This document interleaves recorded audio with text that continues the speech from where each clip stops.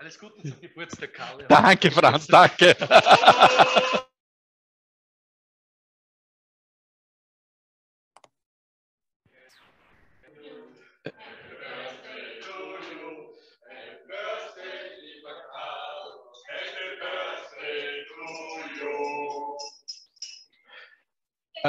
Also mal vielen, vielen Dank für die herzliche Begrüßung.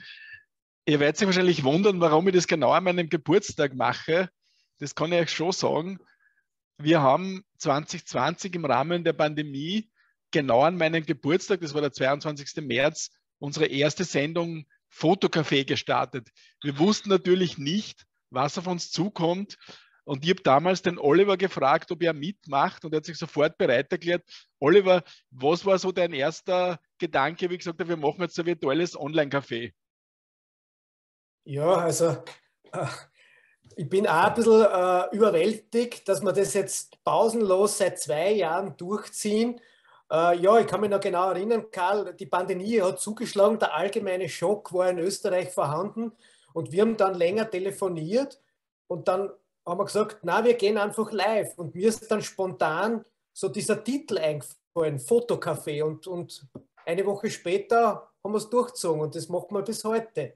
Ja, gratuliere Fotocafé, gratuliere Karl zum Geburtstag. Ja, danke. Also eben muss ich ja ehrlich sagen,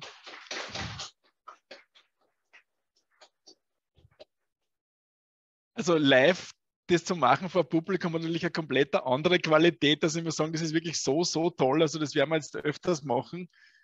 Und äh, ich war natürlich auch, keiner wusste, was auf uns zukommt. Und ehrlich gesagt war ich für online überhaupt nicht zu haben. Ich habe mir gedacht, okay, online, das braucht man nicht wirklich. Und wir haben es aber dann in der Anfangszeit geschafft, bis Juni wöchentlich zu senden. Ich weiß gar nicht mehr, wie das gegangen ist. Das war der absolute Horror jede Woche. Aber Oliver, wie ist dir dabei gegangen? Ja, gut, dass du das erwähnst, Karl. Also zum einen sage ich, es tut mir leid, dass ich heute nicht live in Wien dabei bin. Ich habe leider Fotoaufträge in Karlsruhe und deswegen sende ich da jetzt aus dem Hotel. Ja, also die Pandemie für mich persönlich an sich äh, hat nur aus Arbeit bestanden, weil auf der einen Seite diese wöchentliche Vorbereitung von dem Fotocafé, also äh, man muss echt viel vorbereiten. Wir wollten hochwertige Vorträge bringen und da recherchiert man zuerst, dann baut man mal die Folien zusammen und dann sendet man am Sonntag. Aber gleichzeitig, Karl, haben wir ja noch unser Kursprogramm online angeboten. Also das heißt, ich habe mich in dieser Woche dann noch auf zwei Photoshop-Kurse äh, vorbereitet, die ich dann online halte. Also da sind die Wochen bei mir nur so verflogen ja, mir ist genauso gegangen und irgendwie war das dann so eine super Ablenkung und ich habe mir jetzt ein bisschen Statistik zurechtgelegt. Wir haben 46 Sendungen gemacht, 4100 Minuten Sendezeit. Wir haben mehr als 1000 Zuseher gehabt, interessante Gäste vom äh, Mohammed Al-Zabadi, der Thomas Höhne, Marc Graf und Christine Sohn-Willer, also wirklich sehr, sehr hochkarätig, viele Fotografen aus der Community. Und das ist eigentlich auch so unser Ziel für die Zukunft, das noch mehr zu fördern. Der Andreas Wendinger lässt sich übrigens entschuldigen, der ist im Moment sehr eingespannt, wie ihr euch vorstellen könnt. Und wir haben eine tolle Community aufgebaut und wir leben natürlich auch von euch und wir freuen uns sehr, wenn uns ihr immer wieder Fotos schickt und uns einfach da auch unterstützt, indem ihr live dabei seid es hat sich dann auch sonst noch einiges getan. Es war so ein bisschen das Problem, Online-Fotokurse, das war für mich eigentlich ein Thema, wo ich gesagt habe, okay, das werden wir nicht wirklich brauchen. Und ich dachte, dass der Kelch an mir vorübergeht, muss ich ehrlich sagen. Es hat aber dann natürlich die Pandemie länger gedauert, es hat einen zweiten Durchgang gegeben und dann ist äh, der Entschluss gereift, einen Online-Fotokurs zu produzieren. Und wir sind jetzt kurz vor der Fertigstellung, der geht auch demnächst online. Und ich werde euch einmal ganz meinen Bildschirm freigeben und euch da ein bisschen was zeigen, was es sozusagen, was die Idee ist und wie das, wie das funktionieren wird.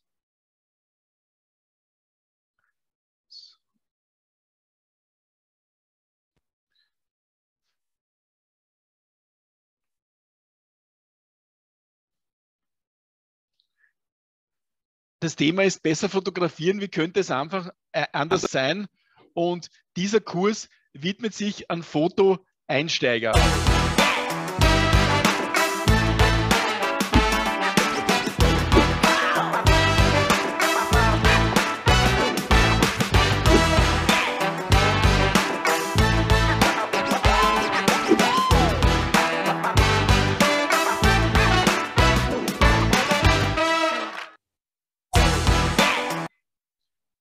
also so, äh, zum Format.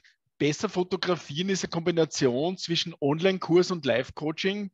Das heißt, es gibt 18 Videos aktuell und diese Videos sind sehr detailliert. Es wird dort quasi beschrieben. Äh, wir haben den Einsteigerkurs digitalisiert. Und was vielleicht das Interessante ist, der Kurs wird drei bis viermal pro Jahr gestartet. Das heißt, jetzt gibt es die Möglichkeit, zwischen 29. März und 3. April den Kurs zu buchen. Dann ist er geschlossen. Äh, dann läuft er quasi los und im Mai startet der nächste. Es gibt zwischenzeitlich auch Live-Coachings, circa alle zwei Wochen. Aber wenn auch jemand später einsteigt, kann er diesen Live-Coachings natürlich teilnehmen. Und es sind E-Books dabei, also die sehr hochwertig gestaltet sind. Es gibt eine Facebook-Gruppe, es gibt ein Zertifikat zum Abschluss. Diese Kursinhalte haben quasi kein Ablaufdatum und die Updates sind kostenfrei. Die Zielgruppe, wie gesagt, sind Einsteiger, also die Zuseher vom Fotocafé wird es eher nicht betreffen.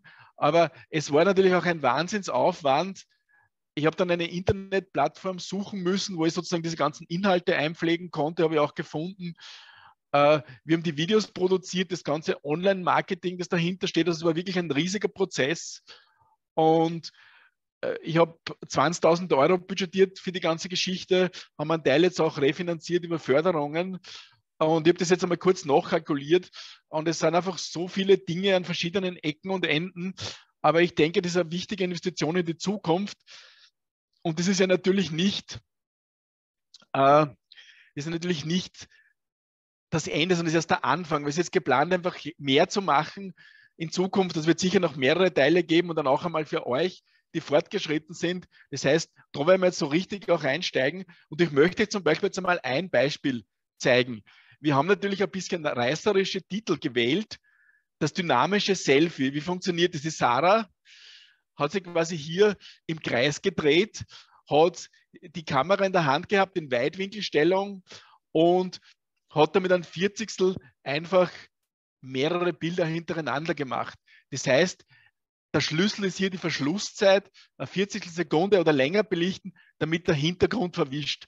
Der Autofokus steht auf Autofokus Servo oder Continuous, alle Fokusfelder und Serienbild. Und so sind quasi diese ganzen Module aufgezeichnet. Und ihr seht jetzt eine absolute Premiere. Es hat noch niemand äh, auch Ausschnitte gesehen. Und ich zeige euch jetzt einmal das Kapitel Verschlusszeit, dass ihr mal seht, wie so ein Online-Fotokurs funktioniert ist einer der drei Parameter vom Belichtungsdreieck und die nehmen wir uns jetzt einmal vor. Die Verschlusszeit, das hast du vielleicht schon mal gesehen, da steht dann im Sucher 1000, das bedeutet der tausendste Teil einer Sekunde, also eine Eintausendstel Sekunde. Und wenn da zum Beispiel 2 steht, dann bedeutet es eine halbe Sekunde. Was hat die Verschlusszeit jetzt für eine Auswirkung auf dein Bild? Wenn du jetzt sehr kurz belichtest, zum Beispiel ein Zweitausendstel, dann wird der Wassertropfen eingefroren oder wenn Kinder am Trampolin springen, werden die gestochen scharf. Wenn sich Menschen bewegen, zum Beispiel die sprechen, dann solltest du Minimum eine 125. Sekunde haben, besser noch vielleicht eine 200. damit du keine Bewegungsunschärfe bei Porträts hast. Wenn es jetzt dunkler wird dann kann es sein, dass du mal fünf Sekunden belichten musst, damit du die Lichtspuren der Autos einfangen kannst und auch genügend Licht bekommst, um jetzt in der blauen Stunde ein tolles Foto zu machen. Und bei Nachtaufnahmen kann es dann sein, dass du sogar mehrere Minuten belichtest.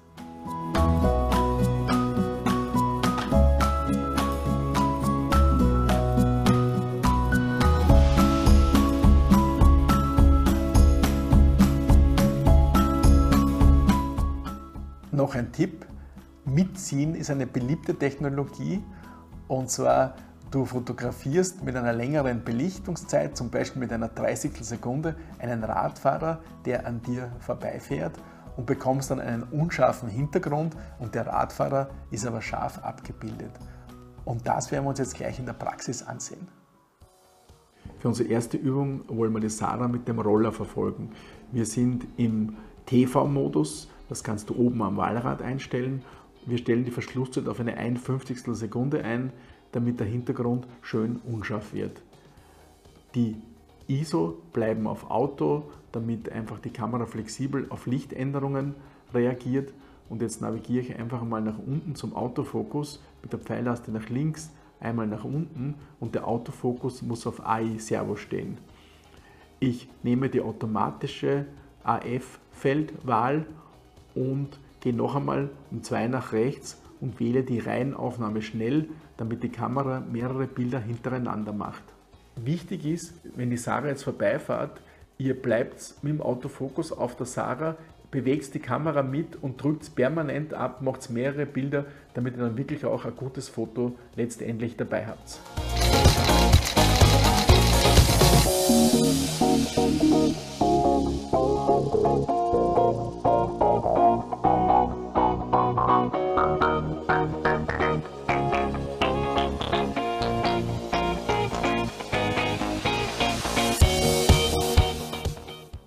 Jetzt die Verschlusszeit auf ein Vierzigstel gestellt, alles andere bleibt gleich.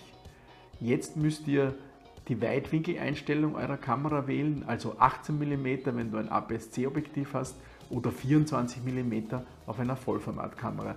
Dann streckst du die Arme durch, die Kamera schaut zu dir und du drehst dich im Kreis und löst während der Drehung permanent aus. Das einfach ein paar Mal probieren und du wirst dann sehen, durch diesen Effekt bleibst du scharf und der Hintergrund wird richtig schön verschwommen. Auch das erfordert ein bisschen eine Übung, macht aber viel Spaß und die Fotos sind echt genial. Und bitte aufpassen, damit er nicht schwindlig wird und dann vielleicht umfällst.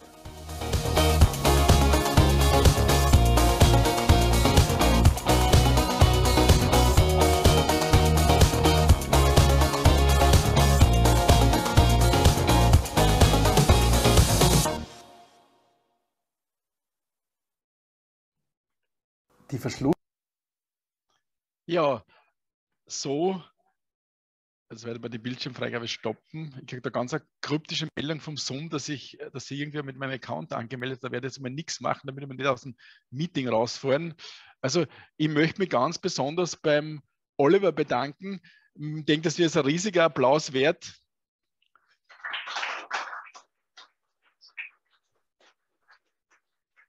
Beim, beim Andreas, der heute leider nicht live da ist, und beim, beim Konrad, der die Bildbesprechungen jetzt auch vorbereitet und immer fix dabei ist im Team. Äh, beim Markus Vierler, wo wir schon zu Gast sein durften, mehrere Male und der heute auch da ist. Markus, danke. Und wir haben ja natürlich schon wieder verschiedene Dinge ausbaldobert und werden auch äh, live aus dem CD-Shop demnächst einmal wieder senden. Und wir hätten einmal vor, im Mai so einen, so einen Wiener Fotoschuletag zu machen, gemeinsam mit der Canon Academy. Wir haben nämlich auch zehn Jahre Jubiläum oder elf Jahre eigentlich, aber durch die Pandemie ist es ein bisschen verschoben. Und wir haben dann vor, hier den Brauhund zu mieten, einmal für einen ganzen Tag. Das werden wir am Dienstag machen, wo der Oliver und ich schon mal in der Pandemie gesendet haben und wollen dort dann, dann Fotoworkshop machen, Vorträge, werden so einen ganzen Tag gestalten. Und der Oliver denkt, der Abschluss wäre dann wahrscheinlich ein Fotocafé, oder? Ja, selbstverständlich. Cool. Gut, da muss ich mal kurz weiterschauen, wie es im Programm weitergeht. Ich muss dann nochmal schnell auf die richtige Seite gehen. Ich habe nämlich da so einen kleinen Schummelzettel, wo ich ein bisschen mitschauen kann.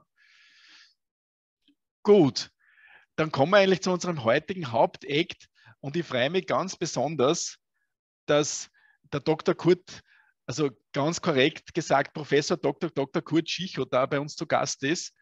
Und ich muss sagen, ihr wisst ja, dass ich längere Zeit im AKH gearbeitet habe.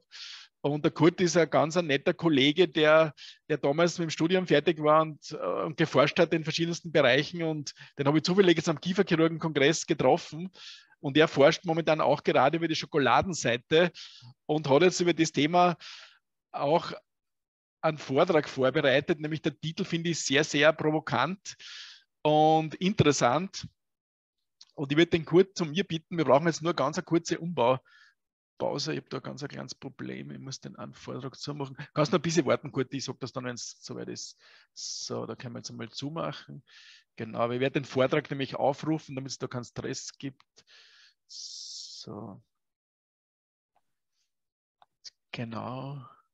Jetzt gebe ich den Bildschirm frei.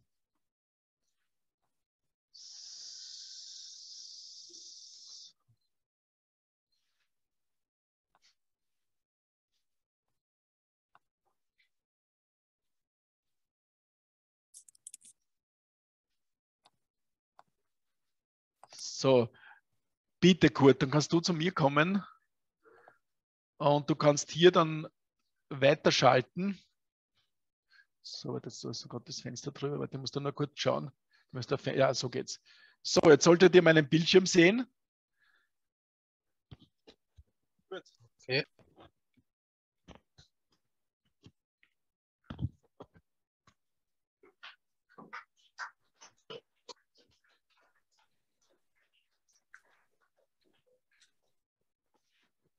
Ähm, ja, danke. Hoffen wir, er kann mich hören. Äh, Karl, für die, für die Einführung. Für die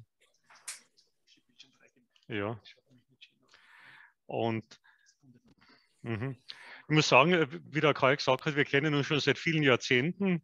Und äh, ich weiß nicht, bei welchem äh, Beauty-Doc du in, in äh, Behandlung bist, jedenfalls. Äh, Karl schaut seit Jahrzehnten immer gleich aus und ich habe immer äh, insgeheim, freue mich natürlich alles Gute zum Geburtstag, allerdings habe ich ein bisschen ein ungutes, mulmiges Gefühl fast, weil ich denke, wenn der sein Beauty-Geheimnis irgendwann einmal auspackt, dann ist das schön schlecht für mein Geschäft. Ne? Weil ich das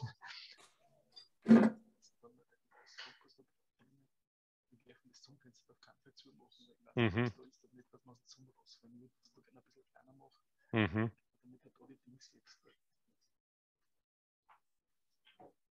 Ich sehe noch nicht die Startseiten. Ja, mhm. Ja, müssen wir auf die Startseite müssen wir. Mhm. So mit dem kann ich vorhin zurückklicken, also mit, mit der da. Ja. Aha. Das ist gut, das sieht man. Dann danke, ich werde mich ein bisschen beeilen, eher schnell äh, durchklicken. Naja, äh, das darfst du mir nicht sagen, ich bin ja eher ausführlich.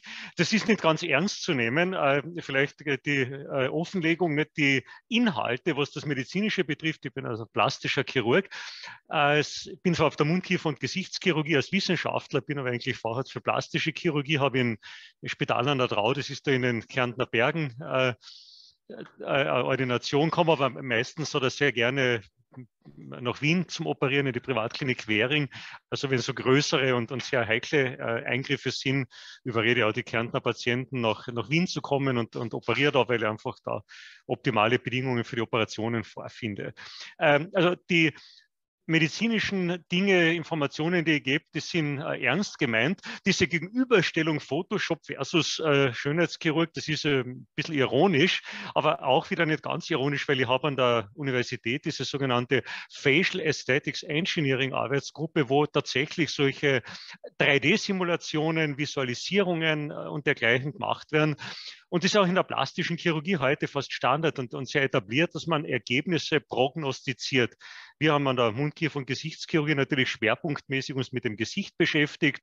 In der plastischen Chirurgie ist es üblich, auch äh, Brüste zu simulieren, also zu visualisieren. Das heißt, das hat ähm, schon sehr, sehr viel Ähnlichkeit zu Photoshop. Und ihr wisst, dass gerade in der, in der Zeit von Instagram und Facebook, äh, andere Social-Media-Kanäle, äh, solche Bildbearbeitungen, das ist nicht immer Photoshop, das ist ja mehr was für, für Profis oder sagen wir für Amateure, die die Fotoschule durchlaufen haben beim Karl. Äh, das kann also nicht jeder so bedienen, aber es gibt schon genug sehr, sehr benutzerfreundliche Software, die praktisch mit einem Mausklick die, die Fotos so richtig tunt, damit man auf äh, Social Media irgendwas hermacht. Ne? Natürlich muss man auch sagen, äh, wenn man das jetzt gegenüberstellt, Photoshop versus Schönheitschirurg. Wenn man es nur posten möchte und äh, äh, auf dicke Hose machen auf den Social Media Kanälen, dann äh, kann das schon mit der Software ganz gut funktionieren. Aber wenn ihr euch dann vorstellt, ihr, ihr kommt zum Tinder-Date und, und die kennen euch zunächst einmal nur von, von diesen äh, bearbeiteten Fotos, dann seid ihr natürlich wesentlich besser dran, wenn ihr das Geld in BeautyDoc investiert habt. Also gehen wir in Medias Res. Ich mache einen kurzen äh, Überblick. Wir werden heute also ein paar Beispiele zeigen. Ein Bild sagt immer mehr als tausend Worte über den Körper. Ich habe auch, und das ist wenn es auch im Vergleich mit Photoshop ironisch gemeint ist, aber die ähm, Preisangaben und die Angaben zum Aufwand, damit man so ungefähr äh, vorstellen kann, wie aufwendig ist das, wie viel kostet das und wie schaut es mit dem Risiko aus, das ist äh, seriös. Okay? Äh, ich denke mal, wenn man nämlich mit diesen Dingen nicht so vertraut ist und sich noch nicht damit beschäftigt hat, dann ist vielleicht wirklich äh, gar nicht so uninteressant zu erfahren, was kosten denn gewisse Dinge, weil viele machen ja ein großes Geheimnis draus. Und umgekehrt, ich bin ja selber äh, Hobbyfotograf, äh, wenn ich mir jetzt denke, gut, äh, wenn ich wirklich mit Photoshop etwas ernsthaft bearbeite, also nicht ein Klicker von einer vollautomatischen Software, sondern wirklich ernsthaft irgendetwas korrigieren möchte, weiß ich selber auch nicht, wie aufwendig das ist, wie viel Zeit muss ich da, wie viel Erfahrung brauche ich da. Und das wird uns der Oliver, der da live zugeschaltet ist, also ein bisschen äh, demonstrieren.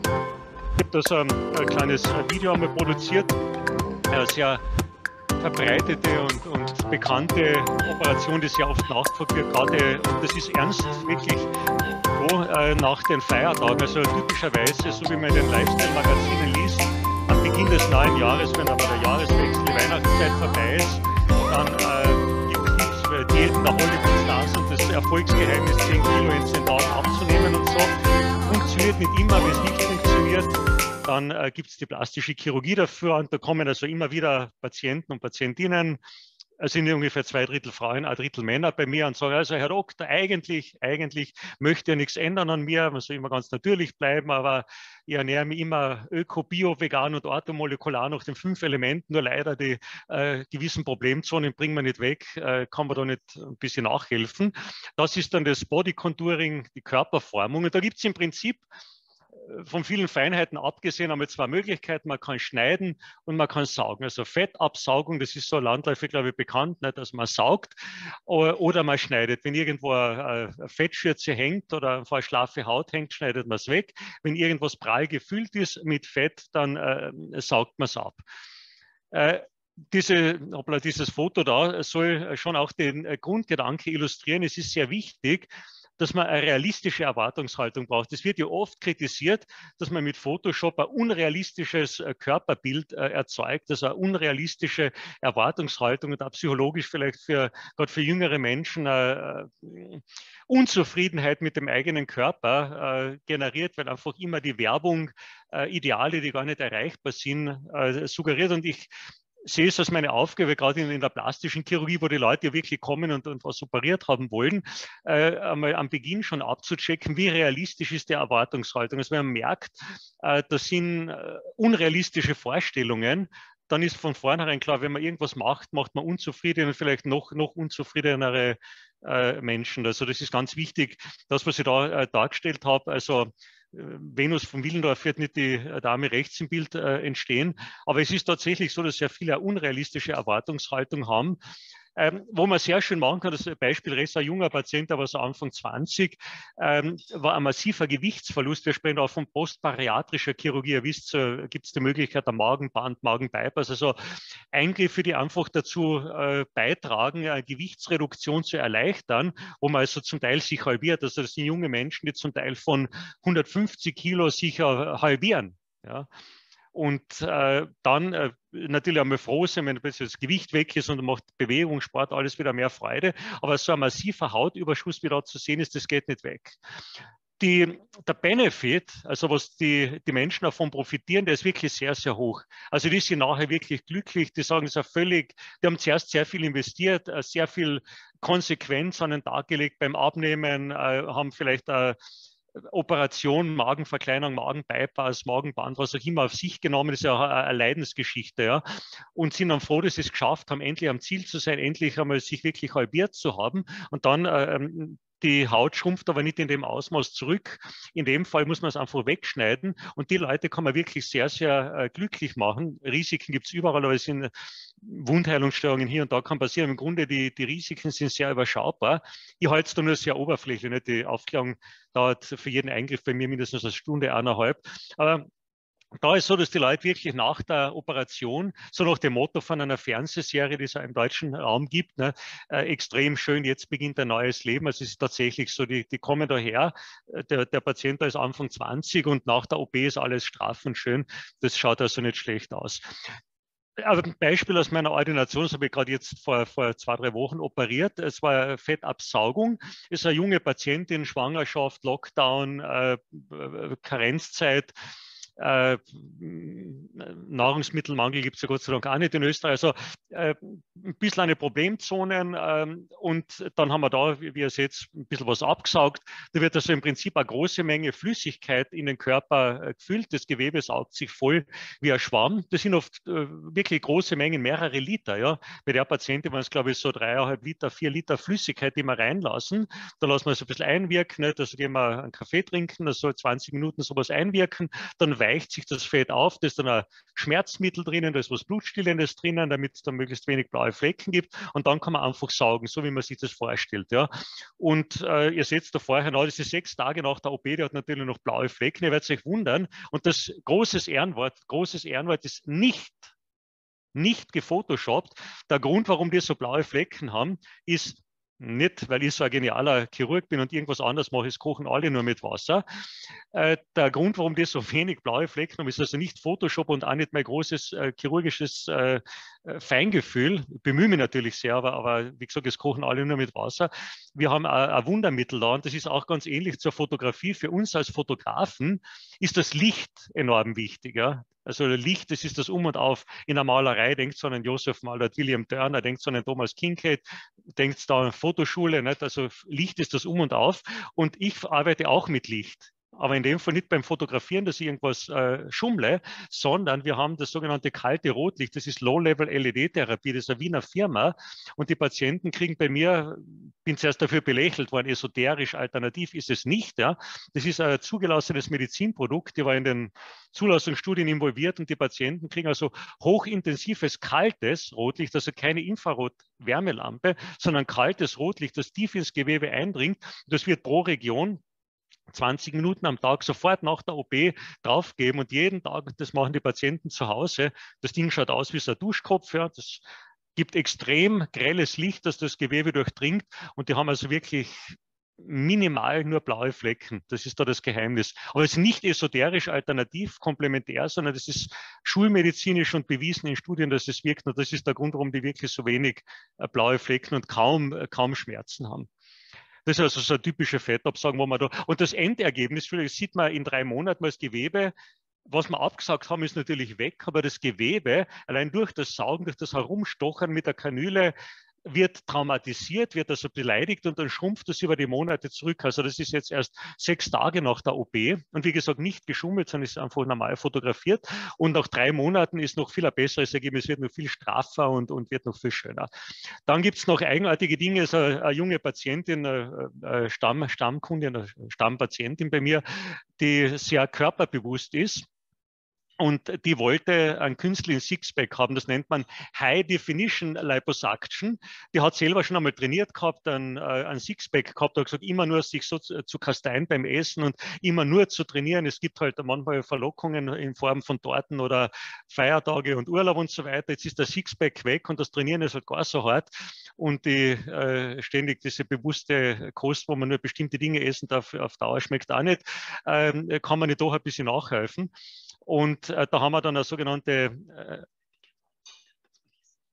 äh, ja, äh, sogenannte, nein, ich bin, ich bin halt schon, äh, ja, High Definition äh, Liposuction gemacht. Und äh, da haben wir also im Prinzip, wie, wie, wie seht, die Patientin links ne, hat einen beneidenswert schönen Körperform, also da fehlt nichts, also sehr körperbewusst trainiert sehr viel. Und ähm, bei der Brust hat man auch schon der Natur ein bisschen noch nachgeholfen. Und die äh, äh, Linien da vorne, die deuten diesen Sixpack an. Und rechts, das ist auch nur, ich glaube, zwei Wochen oder zwölf Tage nach der OP, haben wir diese, diese Linien vom Sixpack künstlich erzeugt. Äh, das funktioniert im Prinzip wie eine normale Fettabsaugung, nur dass man gar nicht in erster Linie was absaugen möchte, sondern dass man einfach mit dieser Kanüle ganz oberflächlich in der Haut so, so Einziehungen macht. Also im Internet wird das äh, dargestellt, als wenn es Raketenwissenschaft wäre. Also es ist wenn es dann einmal jemand gezeigt hat, wie es geht, gar nicht einmal so eine große Hexerei. Und wie es schaut eigentlich äh, wie ein Sixpack aus. Und bin neugierig, wenn wir jetzt im Photoshop dagegen antreten, ob ihr das mit Photoshop so ohne weiteres hinkriegt. Aber das funktioniert jedenfalls tatsächlich. Das sind, ich betone es noch einmal, dass wir hier sehen, sind echte Fotos. Das ist nicht gefotoshoppt. Das sind ganz normale äh, Fotos. Der Photoshop sagt dann der Oliver, was wir machen, schalten wir dann drauf oder äh, okay, ich gehe mal schnell Schnelldurchlauf durch. Äh, nachher haben wir genug Zeit für eure Fragen und so nicht. Und ich bin selber dann neugierig, wie das mit Photoshop geht. Okay, ja. Wenn ich zu schnell oder zu langsam bin, dann sagt es mir, okay. Äh, so, dann klicken wir weiter. Das ist dann ein anderes Beispiel noch. Man kann nicht nur absaugen, sondern auch ähm, Fett wieder auffüllen. Das war eine Patientin, die eigentlich sehr schlank war. Das sie, die beiden linken Bilder sind beides Vorher-Fotos, da mit schwarzem Filzstift ein bisschen markiert. Die hat aus Gründen, die man nicht gewusst haben, die Patientin auch nicht, die einfach eine zerknitterte Bauchdecke gehabt, also kein Übergewicht, kein, kein großartigen Gewebeüberschuss, ein bisschen Schlafheit vielleicht, aber, aber sehr, sehr moderat nur. Aber sie hat also komische, wie gesagt, wir wissen nicht warum, äh, Einziehungen äh, in, in, der, in der Bauchdecke. Und da haben wir eben eine Fettabsaugung gemacht, aber nicht um Fett wegzubringen, sondern um Fett zu haben, quasi als Füllsubstanz, um diese Dellen wieder aufzufüllen. Und dann haben wir das jetzt da links an dieser schwarzen Linie auch noch als äh, sogenannte Mini-Abdominoplastik gemacht gemacht. Das ist also eine Bauchstraffung, wo der Nabel nicht versetzt wird. Da setzen noch diese komischen äh, Punkte ähm, im rechten Foto. Das sind nur die Abdrücke vom Duschpflaster. Das geht dann wieder weg. Ja. Das ist einfach Abdruck vom Duschpflaster. Also eine Woche nach der OP, da haben wir den Bauch gestrafft. Also sozusagen einfach die, weiche, schlaffe Haut nach unten gezogen, den Überschuss weggeschnitten, damit das straffer wird.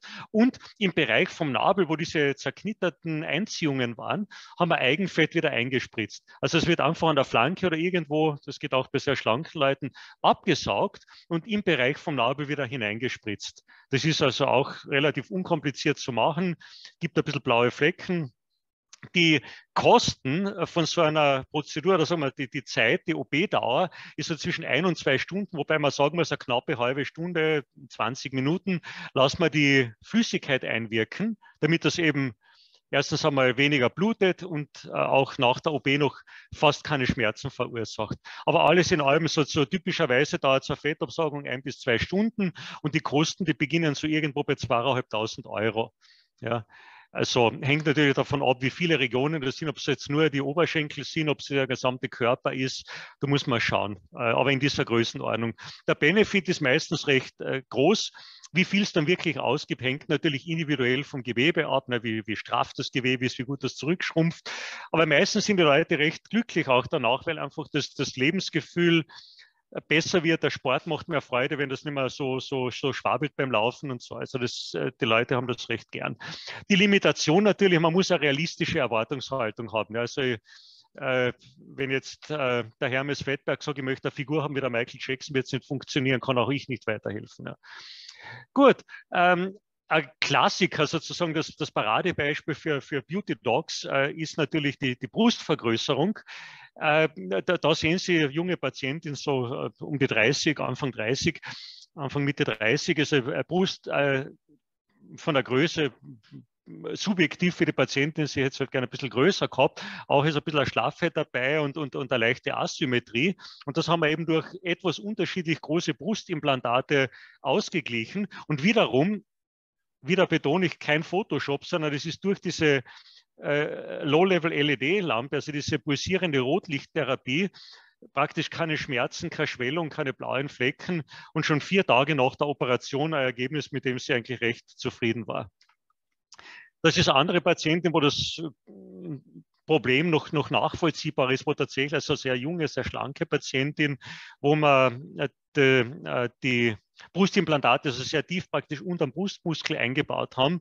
Und auch da sehen Sie das eine Foto haben wir nach dem Sommer gemacht, das operiert habe ich im September und das Kontrollfoto habe ich jetzt im äh, Februar, glaube ich, gemacht, also fünf Monate danach. Deswegen ist es so blass. Aber Sie sehen, also es ist ein, ein sehr schönes und äh, gleichmäßiges Ergebnis. Ach so. Mhm.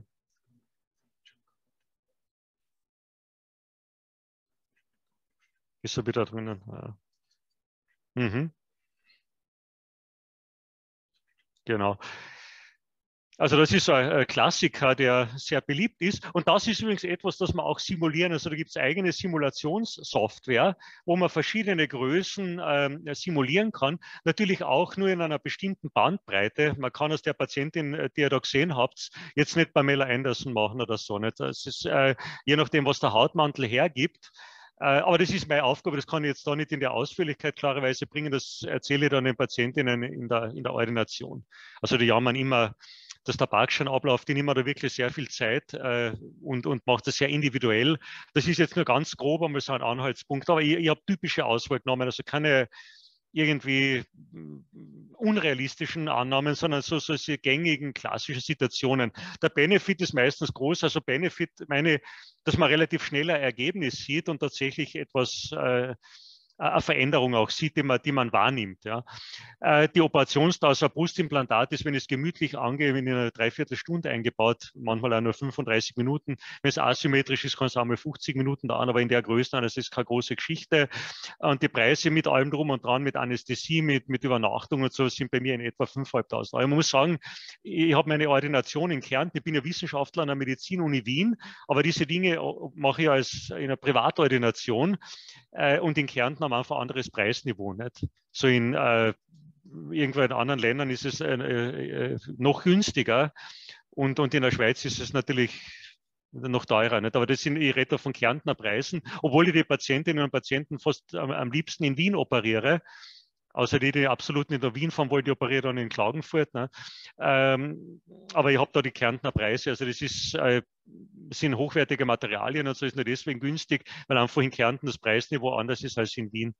Das Risiko ist moderat, das kann man wie bei jeder OP eine Wundheilungsstörung geben. Ich sage den Leuten immer, wisst was der gefährlichste Part einer solchen OP ist? Habt ihr eine Idee, was ist da das Gefährlichste? Genau, also die Anreise, ja, also das ist tatsächlich so, man hat Angst vor der Narkose, man hat Angst vor allem drum und dran.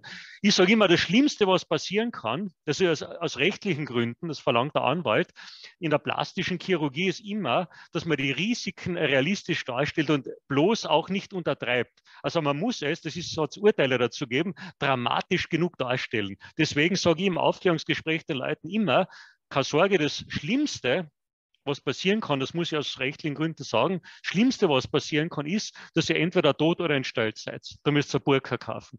Aber im Normalfall, es, es, es, es kann einmal ein ist aber Gott sei Dank, muss auf Holz klopfen, ist Gott sei Dank noch nicht passiert. Da in, in, auch so relativ einfache Operationen sehr, sehr ernst. Ja, also ich meine, ich habe jetzt, das ist das doch schon ziemlich oft gemacht, äh, aber ich nehme das genauso ernst, es kann überall was passieren. Da ich sage, statistisch gesehen ist das Gefährlichste, wie der Karl gesagt hat, die Anreise. Die Wahrscheinlichkeit, dass was passiert, ist da am größten. Und, äh, aber man muss einfach aus, rechtlichen Gründen auf, auf, alles hinweisen.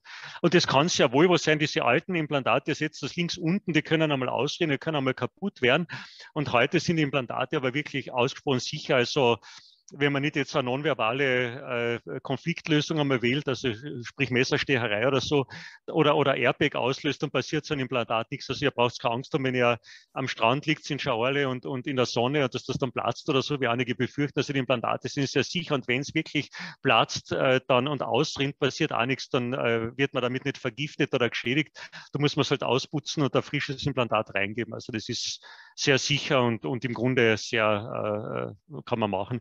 Ich habe schon erwähnt, diese die Zeit, wo wir den, den Karl kennengelernt haben und zusammengearbeitet haben, das war die Zeit der Hochtechnologie, sage ich immer, Raum, der, der äh, Weinfranz war auch immer dabei, äh, Raumschiff Enterprise im OB, das sind diese Hochtechnologie-Projekte im AKH diese Facial Aesthetics Engineering Gruppe, also wo wir wirklich Hochtechnologie im OB machen, zuerst im Büro was planen und, und simulieren und im OB dann umsetzen, eben 3D-Planung, Simulation, Weichgewebssimulationen, äh, also Versuch, Ergebnisse vorherzusagen. Damals war das noch so Pioniertätigkeit vor, vor 20 Jahren und heute ist es eigentlich Routine, was man in Ordinationen standardmäßig macht. Aber werden wir wieder ein bisschen konkreter wenn ihr ähm, jetzt ein Gesicht anschaut, und das wird der Oliver dann, ich hoffe, du bist dran, Oliver, was auf welcher Kamera ja, ja, äh, du mich siehst. Ah, du hörst eh mit, gell?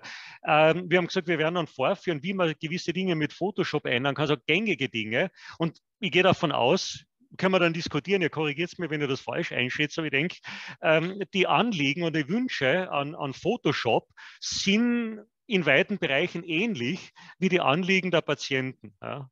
Also wenn ich sage, ich möchte jetzt irgendwas posten, äh, was möchte man da haben? Typischerweise, und das sind ganz viele Dinge, die, die, die Falten auf der Stirn, äh, die der Kollege hat, äh, Augenlider sind eine meiner häufigsten Eingriffe sind, sind Augenlider, also Blepharoplastik. Dann bei der Seite der Augen die Krähenfüße, abstehende Ohren werden gern korrigiert. Der Jochbeinkomplex wird gerne aufgebaut, also einfach um ein bisschen markanteres, männlicheres Gesicht zu haben.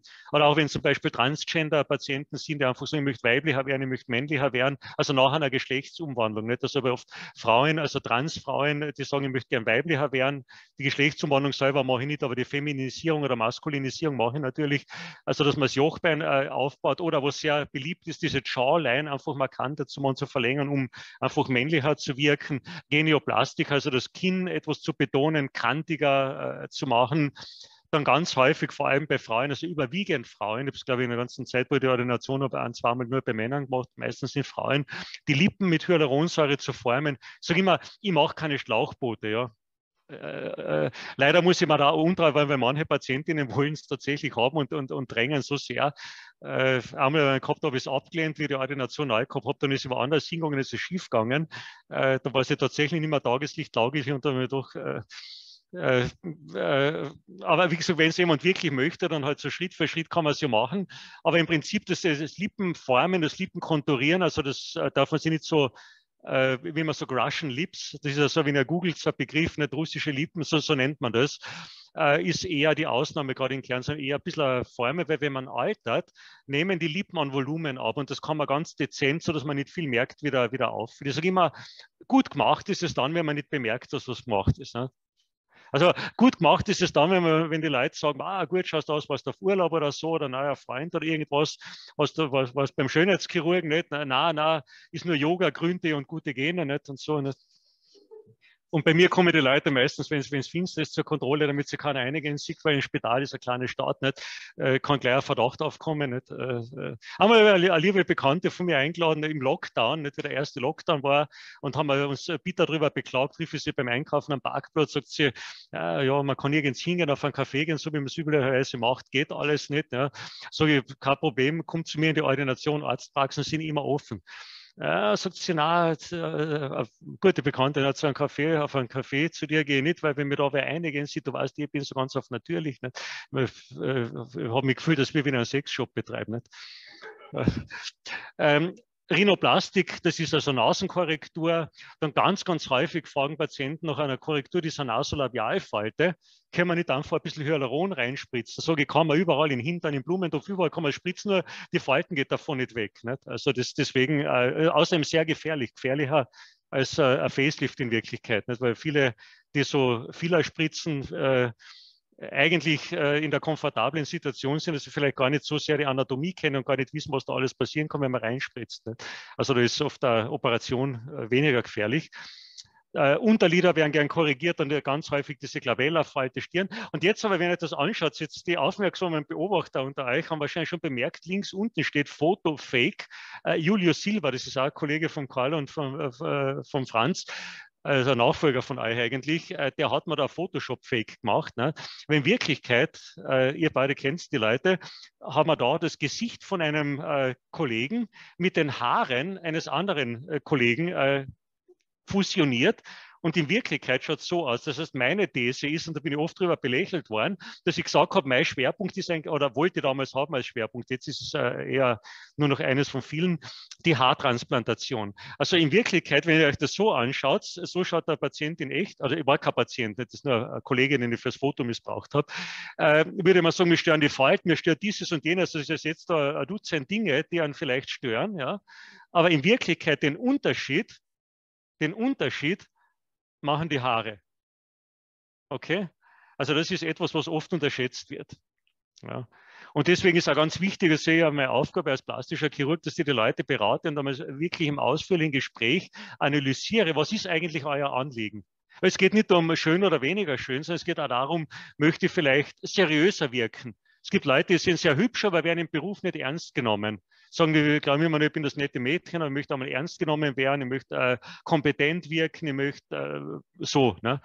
Oder für einen Mann, ihr wisst, es auch nicht unbedingt das Kompliment, wenn, wenn äh, äh eine Frau uns sagt, äh, der ist nett. Äh, also das ist manchmal, äh, ist, wie wir hören lieber, wenn sie sagt, der ist ein Arschloch, aber unwiderstehlich. Nicht? Äh, und das ist auch Spaß beiseite wirklich wichtig als, als, als plastischer Chirurg, wenn, wenn Patienten kommen und irgendeinen äh, Wunsch äußern, dass man sich Zeit nimmt und, und, und zuhört und schaut, was ist wirklich das Anliegen, was stört die Leute in Wirklichkeit. Ja. Weil oft ist es für mich selber überraschend gewesen am Beginn, dass das, was objektiv äh, nachvollziehbar eigentlich mh, hm, das Anliegen oder ich für das Anliegen halte, denke, das oder jenes könnte man im Gesicht machen, die Patienten gar nicht stört und subjektiv irgendwas ganz anderes stört, nicht? wo man gar nicht denkt. Nicht? Äh, manche sagen, sage, das und das ist bei dir, das könnte man machen. Und ich denke, wenn der bei der Tür reinkommt, schon, ich glaube zu wissen, was das Anliegen des Patienten ist. Und in Wirklichkeit ist ganz ein anderes Anliegen, was man gar nicht auffällt. Nicht? Äh, ist ganz wichtig, das eben realistisch zu sehen. Gut, wenn also jetzt die, jetzt machen wir schnell fertig, die Haarverpflanzung, das ist eigentlich ein Klassiker, mache ich auch kein Geheimnis draus, ist in der Türkei wesentlich günstiger, weil da geht es nicht so sehr äh, um chirurgisches Geschick, im Gegensatz zu einem Facelift oder so. Nicht? Da geht es rein um den Chirurgen. Aber bei einer Haartransplantation, das ist eigentlich, da braucht man eine halbe Fußballmannschaft einfach Assistenten und, und so, weil das äh, so, so zeitintensiv ist. Und da geht es um die Personalkosten. Das ist schließlich in der Türkei einfach günstiger als in Österreich. Also da, da, das kostet sehr, sehr viel. Äh, aber das ist nicht mein Honorar, sondern äh, das ist ähm, im Endeffekt, wenn ich ein halbes Dutzend Personal bezahle für einen ganzen Tag. Nicht? Und, und das braucht man aber, um das schnell fertig äh, zu kriegen. Es hilft uns jetzt dieser Blechtrottel, also Entschuldige, der ATAS-Roboter, der die, die Haare stanzt. Entnehmen tun wir es immer noch händisch. Also der Patient wird dort fixiert, da kommt da so ein Referenzrahmen drauf und mit, mit äh, das Movie, glaube ich, funktioniert eh, mit äh, elektronischer äh, Bilderfassung äh, schaut sich dieses Gerät genau die Haarwurzeln an und stanzt das und äh, spuckt dann eine Statistik aus, wie viele Haare haben wir entnommen, wie viele haben wir verschont und nicht kaputt gemacht beim Entnehmen und entnehmen du es dann aber händisch. Also das ist eine Sache, die das doch beschleunigt. Der Rest ist im wahrsten Sinne des Wortes eine Haarspalterei, weil eine der Assistentinnen, es sind ganz viele dabei, sortieren dann diese entnommenen Haare oder die Haarwurzeln besser gesagt in einzelne oder doppelte oder drei äh, Dreiergruppen. Also eine Haarwurzel, das ist wie ein Blumentopf. Nicht? Da kann ein Haar herauswachsen, zwei oder drei, manchmal auch vier. Also ein bis drei. Und die einzelnen Haare, also die, die Haarwurzel mit einem einzelnen Haar, setzt sie an der Front ein und die dichteren, also wo mehr drinnen sind, setzt sie weiter hinten ein. Früher mal hat man so Büschel äh, versetzt. Die Leute haben immer Angst gehabt, ob es wohl wächst. Gewachsen ist es immer, nur hat es unmöglich ausgeschaut. Ja. Wenn es daneben geht, es gibt ein paar Beispiele, ihr kennt es aus dem Fernsehen wahrscheinlich, gibt einen Moderator im ORF nicht, wenn er sich umdreht, dann merkt sie hinten die Narbe und trotzdem hat er Glatzen rasiert, weil es misslungen ist. Äh, da hat man also so Büschel wachsen gehabt, man hat gesagt Dollhair-Effekt äh, und dann hat man zwar Haarwachsen äh, gehabt, aber es hat unmöglich ausgeschaut. Also wichtig ist, dass man es wirklich ganz, ganz gleichmäßig verteilt und auf die Wuchsrichtung schaut. Ja. Gut, also die Haare werden sortiert und da werden sie eingesetzt. Äh, und dann schaut das aus wie ein Drei-Tage-Bad. Äh, rot und geschwollen ist es fast gar nicht, die Leute kriegen wieder dieses pulsierende Rotlicht. Also das sind also minimal nur Schmerzen, eigentlich fast gar nicht. Das zirkt, das spannend. Nach zwei Tagen kann man Haar waschen. Ähm, nach ein, zwei Wochen ist eigentlich nichts mehr zu sehen. Nach spätestens einem Monat sind die ganzen transplantierten Haare wieder ausgefallen. Ja, und erst dann ist ein halbes Jahr, als wie wenn nichts gemacht wäre. Und erst nach einem halben Jahr fängt das plötzlich an zu wachsen. Und das geht so langsam, dass der Umgebung gar nichts auffällt. Also wenn ihr im Büro sitzt mit, mit euren Freunden und Kollegen, äh, die merken da gar nichts. Nur selber nach einem halben Jahr merkt ihr, es wächst ja doch was. Ne? Und dann wird es immer kräftiger, kräftiger, aber es geht so langsam, dass das niemandem auffällt. Ja, ist ganz interessant, ist eine schöne Sache. Der Mechanismus, der da zugrunde liegt, ist bis heute nicht restlos geklärt, aber es funktioniert. Also wir tun praktisch nur umverteilen. Nicht? Also ich sage jetzt nicht, weil ich Kommunist wäre oder so, sondern es ist einfach Verteilungsgerechtigkeit. Nicht? Bei mir ist auch vorne zu schütter, also wenn das Licht von oben kommt, nicht, dann schaut es aus wie ein Glatzen und hinten muss der Friseur immer ausdünnen. Also Haartransplantation, man kann nur Eigenhaar transplantieren, ist letztlich nur, wir sorgen für mehr Gerechtigkeit, für mehr Verteilungsgerechtigkeit, so wie die LKK in Graz. Äh, kosten dort das Ganze ähm, ab 5000 Euro, wie gesagt, in der Türkei wesentlich günstiger, dauern je nachdem, also eine, hängt von der Fläche natürlich ab, vier bis acht Stunden. Größenordnungsmäßig. Wenn es noch ein größeres Areal ist, dann äh, kann man es auch vielleicht auf zweimal machen. Muss man sich immer anschauen, wie ähm, äh, äh, wie viel Spenderhaar vorhanden ist. Nicht? Also wenn der Erwin Bröll äh, den Haarwachstum vom, äh, vom Karl haben möchte, wird es nicht gehen. Also ist dann keine Frage der Finanzen, sondern es ist einfach nicht genug da zum Umverteilen. Aber wenn genug zum Umverteilen da ist, ja, äh, dann, äh, wie gesagt, ich wäre idealer Kandidat. Nicht? Also kommt fest zu mir, lasst äh, operieren, dann kann ich mir das einmal bei mir selber auch leisten. Hinten entnehmen, vorne einsetzen, äh, dann Geduld, ein halbes, dreiviertel Jahr und dann wächst es wieder. Das Risiko ist sehr gering, es kann aber ein bisschen wie Wimmerl geben oder so, aber im Grunde genommen äh, kann nicht viel passieren. Der absolute Klassiker oder die, die häufigste Operation, die wir machen, das wird, glaube ich, der Oliver äh, auch im, im Photoshop äh, demonstrieren. Äh, das ist die Augenlidstraffung. Auf, ich habe das auf Englisch die Folien, da sind vielleicht englische Zuschauer, weiß nicht wie viele, die meisten sind Deutsch, glaube ich. Oft ist so, dass sie es auf Englisch wollen, aber ich glaube, es ist trotzdem gut nachvollziehbar. Das ist eine Korrektur der, der Augenlider. Das ist etwas, was sehr oft die Krankenkasse übernimmt. Wenn man es privat zahlen muss, dann kostet es 2000 Euro plus das, was die Krankenkasse dazu zahlt, dauert ungefähr 40 Minuten für beide Seiten. Risiko ist äußerst gering und das macht fürs Ausschauen sehr, sehr viel aus.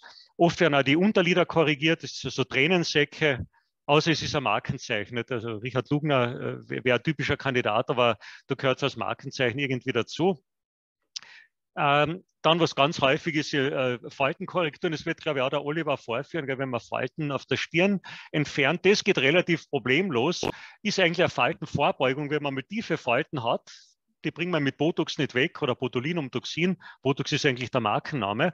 Ähm, das entspannt die Muskulatur. Also es unterspritzt nicht die Falten, die werden nicht aufgefüllt, sondern es wird nur die Muskulatur, die für das Stirnrunzeln äh, verantwortlich ist, wird äh, eingebremst das fängt ungefähr ab 30, Mitte 30 fängt das an, dass man ein bisschen angestrengt schaut, da, da spannt man ein bisschen die, die Stirnmuskulatur an und, und, davon kriegt man dann die Stirnfalten. Und dazu kommt noch, dass viele Leute ab 30 ein bisschen ein Schlupflied kriegen und davon aber nichts bemerken. Also wenn das Oberlid ein bisschen schlaff wird, merkt man nichts davon, weil der Körper unbewusst, also fast reflexartig, durch Anspannen der Stirn, durch Stirnrunzeln, durch Augenbraue heben, dieses beginnende Schlupflied wieder ausgleicht. Da merkt man vom Schlupflied nichts, aber man merkt irgendwann, dass das plötzlich Falten kommen. Oder, oder da, je nachdem, wo halt also Stirn, Zornesfalte oder bei der Seite der Augen. Das kann man sehr, sehr elegant, wenn es beginnt mit diesem Botulinumtoxin, also Botox, äh, vorbeugen. Dauert ein, zwei Minuten, das zu machen, ein bisschen kühlen, spritzen, tut nicht weh. Ich habe jetzt mittlerweile so einen Gesichtsmassagestab dabei, da spürt man wirklich gar nichts. Ich habe selber mal ausprobiert, nur vom Spiegel äh, ist das schwierig. Aber da spürt man wirklich den Nadelstupfer fast überhaupt nicht. Das kann einmal einen blauen Fleck geben. Also so minimales Risiko. Die Kosten bleiben im Rahmen, kostet 300 Euro pauschal das Gesamte und äh, ist eine sehr, sehr gute Faltenvorbeugung. Was man auch oft macht, ist das Plasma, Platelet-Rich Plasma, da wird also äh, mit Eigenblut praktisch die Haut aufgefrischt. Das ist kein Facelift, aber das ist einfach eine Hautauffrischung, das eine, eine schöne, gesunde, frische Haut macht. Sogar oft den Patienten, fahrt sonst mehr auf Urlaub, habt ihr den gleichen Effekt. Ne? Ungefähr die gleichen Kosten, paar hundert Euro. Äh, für Aknenarben ist es auch wunderbar mit der Niedlingroller kombiniert, Plasmaspritzen, kriegt man wunderschöne Haut wird der Oliver vielleicht auf Photoshop äh, äh, vorführen. Das ist im Prinzip ein Weichzeichner oder eine Korrektur von, von, äh, von der Haut einfach. Unebenheiten bevor, Retusche. Also Basic äh, Retusche ist das im Prinzip. Ja. Äh, Lippenvergrößerung, man gesagt, kostet so bei 250 Euro. Filler für tiefe Falten wird oft nachgefragt, funktioniert eigentlich gar nicht. Ja. Also wenn da wirklich das Gewebe hängt, ist mit Filler eigentlich nur ausgeschmissenes Geld. Das ist ein Beispiel, äh, was man konkret machen kann. Den Patienten, der für Herz sagen, das Problem, die meisten Patienten wollen nicht sichtbar sein, weil sie halt anonym war, den, den der für Herz zeigen. Und das ist ganz ein gutes Beispiel. Ich betone wiederum an der Stelle, ich wiederhole mich, ohne Photoshop. Also Photoshop kommt dann vom Oliver und vielleicht kann der Oliver dann das Foto einmal live photoshoppen, nicht einmal sehen, wie das geht. Da haben wir mehrere Dinge gemacht. Ich habe zum einen ein Vampirlifting gemacht, um die Haut aufzufrischen. Das ist wirklich nur ein minimaler Teil äh, des Effektes. Dann haben wir an der Stirne Botulinumtoxin appliziert. Ihr merkt, die Falten sind auf dem rechten Bild zwar noch da, aber wesentlich weniger. Also das ist das, was man realistisch erreichen kann. Also man kann es nicht wegzaubern. Mit Photoshop, wenn man noch einmal drüber fährt, kann man es ganz wegbringen. Das, was da ist, ist ohne Photoshop realistisch zu kriegen, also die Falten deutlich zu reduzieren. Patient ist so Mitte 60. Und dann, was am meisten Unterschied macht, das wird, glaube ich, auch der Oliver vorführen, das sind die Augenlider. Die Oberlider und in dem Fall habe ich auch die Unterlider mitgemacht. Also das ist etwas, ist ganz wichtig psychologisch und ganz interessant, wenn man die Augenbraue ändern würde. Das kann man auch machen, wird auch oft nachgefragt. Die Augenbraue, das laterale, also das äußere Drittel der Augenbraue heben. Das ist ein bisschen ein Modetrend, ne? das ist eine Brauenhebung. Da schaut man völlig anders aus. Ob besser oder vorteilhaft oder nicht, das ist jetzt Geschmackssache, aber man schaut anders aus, völlig verändert. Da genügt ein Millimeter bei der Augenbraue, das könnt ihr mit einer Simulation einmal probieren. Ein Millimeter genügt und ihr seid völlig verändert bei der Augenbraue. Bei den Augenlidern, witzigerweise, ist das überhaupt nicht der Fall. Also wenn man da schaut, wenn man die, die Schlupflider korrigiert, man wirkt überhaupt nicht verändert, man wirkt nur munterer, irgendwie erholter, frischer, fröhlicher. Ja, aber nicht verändert. Und die Unterlider haben wir auch ein bisschen korrigiert. Also ihr merkt, es ist überschaubarer Aufwand, wenig Risiko und, und man schaut einfach irgendwie munterer aus. Dieses, äh, dieses Vampirlifting oder Plasmalifting, der reine Bucherhaar in Mödling hat man äh, eher aus Kärnten stammender Karikaturist, ich glaube, ihr werdet ihn wahrscheinlich kennen, oder? Der hat da für Segler, also Segelbuch illustriert, ein genialer, wirklich äh, sensationeller Karikaturist. Der hat mir diese Karikatur äh, angefertigt. Also dieses Vampirlifting oder in den Medien kennt sie es wahrscheinlich unter der Bezeichnung Kim Kardashian Lifting. Das ist äh, der, der Beauty-Trend der Hollywood-Stars, ist nichts anderes, als dass man die Reparaturmechanismen des Körpers ausnutzt. Also wenn ihr irgendeine Wunde habt, eine Schürfwunde oder verschneidet oder so, dann habt ihr gemerkt im Pflaster, dass äh, so eine gelbliche äh, äh, Flüssigkeit kommt, so dieses gelbliche Wundsekret. Ja. Das ist das, was der Körper hat, wenn er euch verletzt, um das Gewebe zu reparieren. Das ist Plasma. Nur wenn ihr im Gesicht keine Verletzung habt, hat der Körper keinen Anlass, irgendwas zu reparieren. Ja. Und diesen Mechanismus kann man austricksen, indem man das Blut entnimmt, in diese Zentrifuge gibt und dann nach einer Viertelstunde kriegt man eben das, was ihr da in diesen Röhrchen seht. Unten ist rot, oben ist gelb, schaut aus wie Olivenöl. Das ist eben das Plasma, das wir abgetrennt haben von eurem Blut und das wird mit einer extrem dünnen Nadel, so dünn, das sieht man fast nicht, ganz oberflächlich in die Haut gespritzt. Das tut man kühlen, das tut also praktisch überhaupt nicht weh. Nachher schaut es ein, zwei Stunden aus als wie Geißenstiche, mehr nicht. Und dann kriegt man eine wunderschöne Haut so dass sich der Vampir, das ist eine super Idee von dem Reini Bucherer, äh, nämlich, dass sich der Vampir dann plötzlich im Spiegel sieht, weil ihr wisst, ein Vampir sieht sich nicht im Spiegel. Nicht? Also seid immer vorsichtig, wenn ihr mit irgendwem unterwegs seid und, und im Spiegelbild ist äh, der oder diejenige nicht zum Sehen, dann ist es ein Vampir. Also so kann man, das ist die, äh, wie man bei uns auf der Gesichtsgröße eigentlich geheim, ich dürfte das gar nicht sagen, nicht Verschlusssache. Ähm, äh, Vampire detektieren unter den Patienten den Werwölfe auch. Und Vampire erkennt man daran, dass sie kein Spiegelbild haben. Und nach dem Vampirlift aber sieht er sich erstmals im Spiegel. Äh, das ist jetzt das, was man damit erreicht. Also die Patientin, da habe ich jetzt einerseits die Haut ein bisschen aufgetunt mit diesem äh, Eigenblutplasma und zusätzlich eine ganz weiche Hyaluronsäure nur in die Haut hinein. Sowas kann man ganz schön machen. Das heute zwar nicht so lange, diese Faltenbehandlung. Also in Wirklichkeit würde diese Patientin ein Facelift brauchen. Das war ja doch ein bisschen, hat sie einfach sich nicht drüber getraut noch. Äh, haben wir gesagt, machen wir halt den Kompromiss, machen wir die Haut frisch und tun wir ein bisschen weiche Hyaluronsäure spritzen.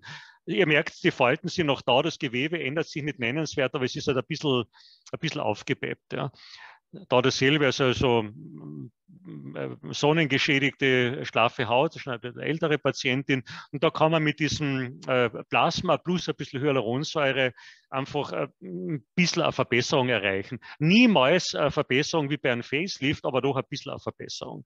Dann das ist ein ganz schönes Beispiel, haben wir zwei Dinge gemacht, dieses Permanent-Make-up, das misslungen ist, bringe ich natürlich nicht mehr weg.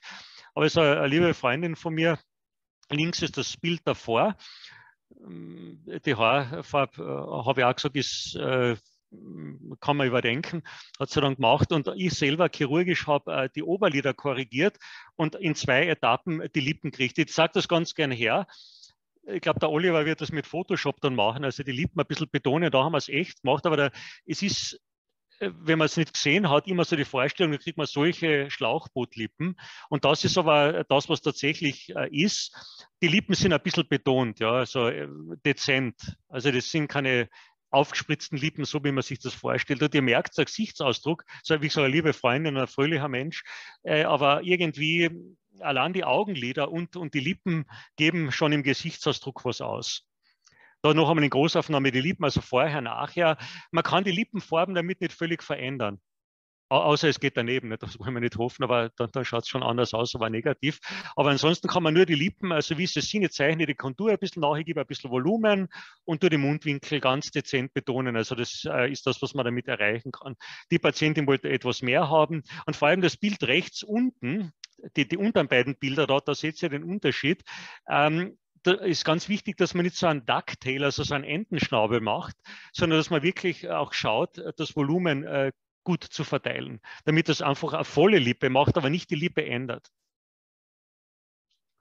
Äh, äh, die Maximalvariante, damit kommen wir schon gegen Ende vom Vortrag, ist natürlich das Facelift. Viele sagen, na, so was Großes möchte ich gar nicht, die OP nicht, aber ihr müsst denken, die ganzen Behandlungen, die werden oft sehr kommerziell äh, für viel Geld angeboten und Hyaluronsäure, dies und jenes, äh, diese Fadenliftings, Threads, wenn man sagt, das sind alles Dinge, die einmal kurze Zeit halten, ein halbes, dreiviertel Jahr halten, ein eher sehr bescheidenes Ergebnis bringen. Und das ist wirklich, und das meine ich jetzt ganz ernst, ja, weil viele das äh, nämlich falsch einschätzen, in der Werbung für diese Medizinprodukte wird der Eindruck erweckt, dass das Wunder wirken kann, dass das eine OP ersetzen kann. Und das Problem ist, dass in der Medizin die, die Patienten das ja nicht wissen, was ist wirklich realistisch. Ich meine, in der Werbung, Red Bull verleiht Flügel, äh, da weiß jeder, dass er nicht äh, wegfliegen kann. Wenn ich ein Red Bull trinke, kann ich nicht fliegen. Muss trotzdem mit dem Auto wegfahren. Nicht? Muss ich sowieso mit einer Kurzpaktion, aber trotz Red Bull kann ich nicht fliegen, das weiß jeder, weiß jeder, dass das nur Werbeschmäh ist. Nicht? Aber, aber in der Werbung für Hyaluronsäure, für BDO-Threads und so, da denken die Leute, ich gehe zum Arzt, nachdem es viel Geld kostet, muss es gut sein und dann sind sie enttäuscht. Nicht? Und ein Facelift ist das, was er wirklich dauerhaft haltet und in Wirklichkeit von den Risiken her gar nicht mehr ist als die, diese, diese sogenannten sanften Behandlungen. Ja bei so einem Facelift, das fängt an bei 7.500 Euro nicht. Meistens ist nicht nur das Gesicht, sondern auch der Hals. Es gibt ja prominente Beispiele aus der, aus der Politik, nicht, wo das Gesicht zehn Jahre älter ist als der Hals. Äh, das sollte man also tunlichst vermeiden. Ich sage immer, gut gemacht ist es, wenn man nicht erkennt, dass es gemacht ist. Und äh, typischerweise Gesicht und Hals und dann sind meistens noch die Augenlider, dann sind ein paar Pigmentflecken und andere Patienten hat vielleicht die Augenlider, es ist immer irgendetwas. Ne? Aber, aber so zwischen 7.500 und 10.500 Euro liegen wir da. Ich operiere das auch in Wien. Nicht? Ihr wisst, in Wien kostet es ungefähr das Doppelte. Äh, aber ich habe kein Personal, ich mache das mehr als Hobby, nicht mehr. Ich habe schon bis immer noch an der Uni. Äh, mir macht das irgendwie Spaß, ich habe kein Personal und, und ich bin da relativ schlank mit den Kosten. Ich glaube, man soll da auch nicht unethisch teuer werden. Und wie gesagt, operieren du es trotzdem in Wien. Also ich operiere das nicht irgendwo in einem Feldlazarett oder so, sondern operiere heraus in Wien, am liebsten in der Privatklinik Quering und da sind wir trotzdem relativ äh, moderat. Wie kann man sich das vorstellen? Geschnitten wird da dem Ohr entlang und hinterm Ohr und dann wird das jetzt, das ist so effizient wie nichts anderes, da wird die Faszie, das ist so die Unterlage, jetzt was praktisch die Schicht, die unter der Haut, aber oberhalb der Muskulatur liegt, ist eine sehr sichere Technik, weil die ganzen empfindlichen Strukturen, die Blutgefäße, die Nerven, die Muskeln, das liegt alles eine Etage drunter, okay? Ich sage immer, wenn da ein Teppich liegt, dann habe ich unter dem Teppich einen Rutschschutz und wir spannen nicht den Teppich, sondern wir spannen die Unterlage. Also es schaut zwar ein bisschen äh, komisch aus im ersten äh, Moment, aber es ist eine sehr sichere äh, Methode, weil wenn wir in einer Region arbeiten, wo eigentlich anatomisch nichts passieren kann.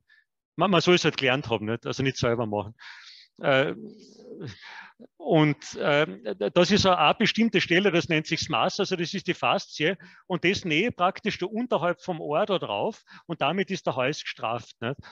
Und da ist parallel zu dieser tiefen Nasolabialfalte eine Stelle, ihr seht das da links, habe ich mit Filzstift markiert, das wird einfach ein bisschen gerafft, also so wie wenn ich das so zusammenziehe, wird das gerafft. Und dann wird nur ein bisschen Hautüberschuss entfernt. Es wird nicht die Haut gespannt, weil wenn die Haut gespannt ist, schaut es unnatürlich aus. Nicht? Weil es ist für mich das äh, schlechteste Kompliment, wenn jemand sagt, die ist geliftet. Nicht? Wenn er sagt, die ist geliftet oder ein Kompliment, oder ein Lifting ist aber gut gelungen, dann ist das schon für mich äh, sehr schlecht. Nicht? Also kein Kompliment. Also schön gemacht ist, wenn es eben äh. Und dann da, was man auch machen kann, ist das sogenannte Bullhornlifting. Wenn also da Oberlippenfalten sind, dann kann man da oben wie so ein Büffelhorn schneiden und damit das Lippenrot ein bisschen nach außen drehen und die Falten ober der Oberlippe wegbringen. Ich sage euch vorher nach, es ist eine 69-jährige Patientin und wiederum äh, vorher nachher, ich betone wieder, wäre schon langweilig, ja, aber ohne Photoshop. Ja. Photoshop zeige euch dann der Oliver. Das ist das, was man realistisch kriegt. Und das kriegt nichts mit, mit, mit irgendwelchen Hokuspokus und Wundercreme und die er dafür viel Geld vielleicht im Internet bestellt, sondern das ist das, was wirklich mit am Lifting geht. Das ist fünf Tage nach der OP. Und noch einmal, ich sage das also jetzt gar nicht kokett, sondern es ist wirklich so, diese wenigen blauen Flecken sind nicht wegretuschiert, sondern das ist dieses, äh, diese Rotlichttherapie. Also fünf Tage nach der OP, ein bisschen eine blauen Flecken sind da, komplettes Gesichts- und Halslifting. Oder da, das ist das Bull, da sechs, fünf Tage nach der OP, die Nähte sind noch drinnen, die Lippe schön geformt, aber ohne Hyaluronsäure, einfach nur ein bisschen nach oben gezogen. Das ist eine Patientin zwölf Tage nach der OP, da haben wir ein komplettes Facelifting gemacht, das einfach nicht verändert, aber ein anderer Gesichtsausdruck, aber nicht, nicht verändert. Aber bei der Patientin ist bei jemandem anderen ein bisschen misslungen, da hat jemand die Tränensäcke von außen weggeschnitten, was man nicht machen sollte. Und der Facelift wollte sie auch haben. Ich gesagt, ihr merkt so die, die Falten außenrum so wie fast wie bei der Panzerknack hat das ausgeschaut, also ganz schlimm. Man darf da nie schneiden. Jetzt hat jemand da einfach gedacht, ich schneide das halt weg. Nicht? Und ich habe das dann weggelesen und ein Facelift gemacht. Und das ist jetzt äh, 13 Tage nach der OP, ist alles noch ein bisschen geschwollen und die Narbe muss noch, noch abheilen. Aber man kriegt wirklich ein natürliches Ausschauen. Der Hals, das Gesicht, äh, das ist halt etwas, das kostet halt einmal ein Geld. Ja? Und das haltet aber auf. Man, man, man altert dann zwar weiter. Also wenn ich das mit 50 mache und dann ausschaue wie mit 40, da schaue ich mit 70 aus wie mit 60. Also man altert zwar weiter, aber das, was man gewonnen hat, ist dauerhaft. Also braucht es zweimal im Jahr wieder irgendwas nachspritzen. Das ist der Grund, warum die Leute äh, so wenig blaue Flecken haben und so wenig Schmerzmittel brauchen. Einfach dieses äh, pulsierende Rotlicht, das einfach die, die Schwellung, den Schmerz äh, nimmt. Genau, da, da geht es schneller drüber. Da haben wir seriöse Studien gemacht, wo wir wirklich nachgewiesen haben, das, Thema jetzt, das überspringen wir, dass die Sache nicht nur esoterisch ist, sondern wirklich einen messbaren, nachweisbaren Effekt. Also danke für die Aufmerksamkeit. Die Ordination ist in Kärnten, operiert wird in Wien. Und jetzt geht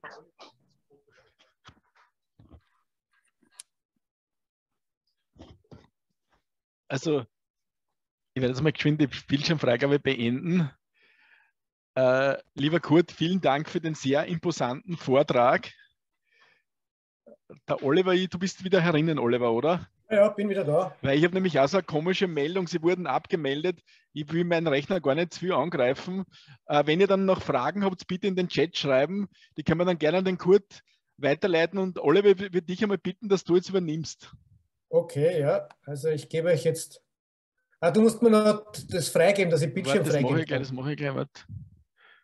Was dir an Oliver mehr keinen Stress, du kannst es ruhig in aller Ruhe machen, wie du es geplant hast, gell? Bitte. Mhm.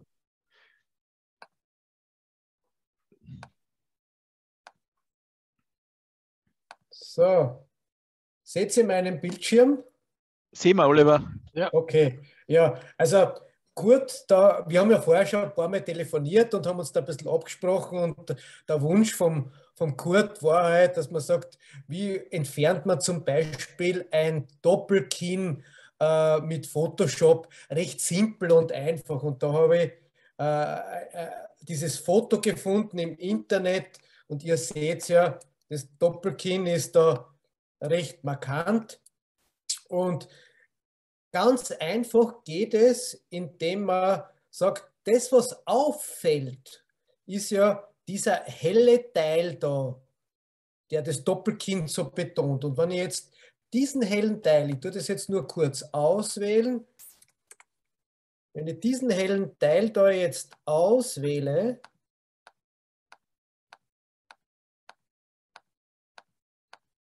So, ist ausgewählt. Und diesen hellen Teil jetzt nur einfach abdunkeln, dann wird der nicht mehr so sichtbar, weil dann ist alles, was dunkel ist, fällt nicht mehr so auf, schaut und schon wird das Doppelkinn weniger. Also wir haben es jetzt nicht chirurgisch entfernt, nämlich wir haben es nur einfach ein bisschen abgedunkelt und schon fällt es nicht mehr so auf, das Doppelkinn. Das wäre die eine Variante. Und wenn man sagt, man ist jetzt mehr motiviert als Photoshop und möchte das jetzt wirklich verkleinern oder reduzieren, das Doppelkinn, dann geht der Weg nur über den verflüssigen Filter. Und beim verflüssigen Filter, da gibt es eine ganz eine tolle Schrumpffunktion. Also das heißt, ich, ich wähle diese Funktion einmal aus, das ist dieses Werkzeug und kann jetzt einmal hier da das Ganze ein bisschen vom Volumen her schrumpfen. So ungefähr, ja. Ich bestätige das Ganze. Jetzt hat sich natürlich sein komplettes Gesicht verändert. Ja, das, das wollen wir ja nicht. Das heißt, ich lege mir jetzt da äh, eine schwarze Maske an und werde jetzt nur den Teil da, wo das Doppelkinn zu viel ist, ausblenden. Auf 100% Deckkraft, weißer Pinsel, jawohl. Und blenden das Ganze jetzt da aus. Und ihr seht, ja, also so kann man ein Doppelkinn verkleinern. Ja, was ich noch vorbereitet habe, ist das typische Problem, wo man sagt, ja, man kriegt halt ab, ab einem gewissen Alter äh, Fältchen da rund um die Augen, man sieht es da. Das ist das Bild, das äh, original aus der Kamera gekommen ist und man sieht, eh, da hat die Dame ein paar Falten äh, und wenn man sagt, das möchte man jetzt entfernen, dann ist einmal ganz einfache Methode, ich lege mir da eine leere, na, ja, leere Ebene an, nehme den Kopierstempel, definiere jetzt da in dem Hautteil die Quelle und kopiere da einmal richtig drüber und alle Falten sind weg. Das schaut jetzt natürlich nicht sehr, das Ergebnis hat nicht sehr natürlich aus, weil plötzlich hat sie da unter den Augen eine Haut wie eine 14-Jährige. Aber jetzt haben wir bis jetzt nur den Kopierstempel einmal angewandt und da gibt es jetzt eine ganz tolle Funktion im Menü bearbeiten, die nennt sich verblassen Kopierstempel. Jetzt ist dieser Effekt zu 100 Prozent, aber jetzt kann ich, ich schiebe das nur ein bisschen zurecht, jetzt kann ich diesen Effekt reduzieren mit diesem Regler. Wenn ich jetzt auf 0% gehe, sind die Falten wieder da. Und wenn ich langsam den Regler ziehe, verschwinden sie ein bisschen. Und dann würde ich sagen, so bei 40 Prozent, wenn ich das verblasst habe, ist das Ergebnis noch einigermaßen natürlich. Schauen wir mal vorher, nachher deutlich natürlicher.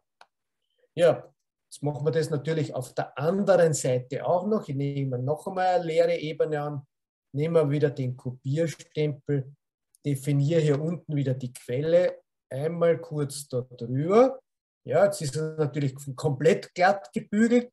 Jetzt im Menü verblassen auswählen und da den ganzen Effekt wieder ein bisschen reduzieren, dass sie ganz dezent wieder durchkommen, die Falten.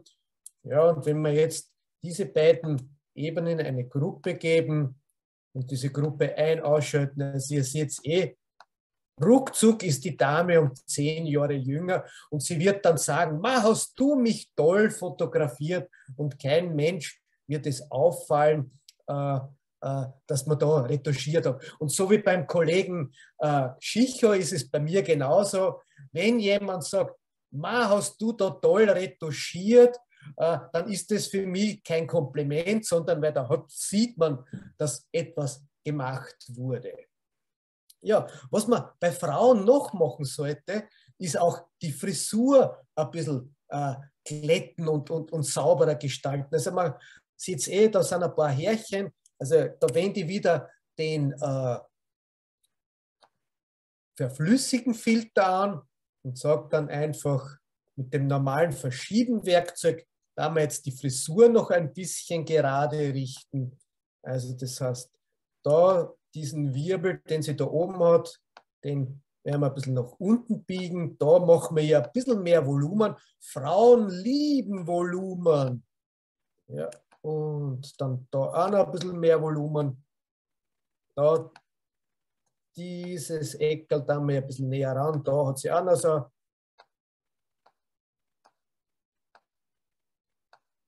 Und erst im Vorher-Nachher-Vergleich seht ihr, was jetzt dieser kleine Effekt ausmacht.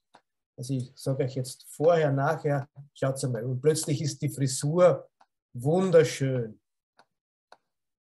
Ja, und dann habe ich noch vorbereitet ein finales Bild von mir. Also so habe dieses Bild dann veröffentlicht Ihr seht eh hier die ganzen Bearbeitungsebenen und das möchte ich jetzt nur mal ganz kurz zeigen, äh, die einzelnen Schritte. Ich mache das Bild noch eine Spur größer und zoome noch ein bisschen ran, weil es geht ja da hauptsächlich ums Gesicht. So, zoomen wir noch ein bisschen ran.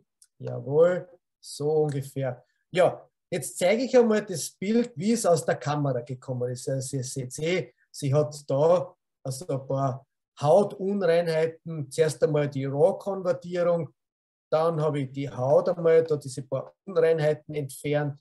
Dann habe ich mit lokalem Aufhellen und Abdunkeln diese fleckige Haut ein bisschen ausgeglichen. Ihr seht es eh. Also da ist nicht mit dem Kopierstempel gearbeitet, sondern das, was dunkel war, habe ich ein bisschen aufgehellt und das, was hell war, habe ich ein bisschen abdunkelt. Und schon ist das Hautbild viel harmonischer, aber die Hautstruktur noch immer dieselbe. Und das ist das Entscheidende. Also das heißt, viele bearbeiten Haut, ihr seht eh, da sind noch die Flecken, und wenn man dann da mit dem Kopierstempel oder anderen Werkzeugen oder Filtern drüber fährt, dann verändert man die Hautstruktur, weil ihr seht, seht da an der Nase ist sie anders wie hier.